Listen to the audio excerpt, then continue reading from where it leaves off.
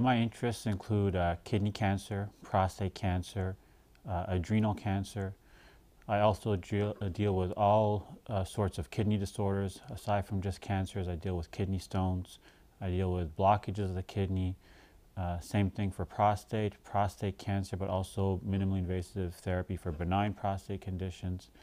So those are really my focus areas. I'm still very happy to see other conditions and one thing about me, if I feel I'm not comfortable dealing with it, we have an amazing group of urologists here. We have specialists covering every aspect of urology from pediatrics, infertility, uh, erectile dysfunction. So if I can't handle it, you know, I'll make sure that they're seen by somebody who, who's the proper person for them. You know, 10 years ago, you know, if a patient came in with a prostate cancer or kidney cancer, what did we do for them? We took it out. That's basically what we could offer them. We really couldn't offer anything else. Now we have so many different things we can offer. We can freeze their tumors. We can heat their tumors with electricity. Now we're doing everything minimally invasive. We're doing it robotically.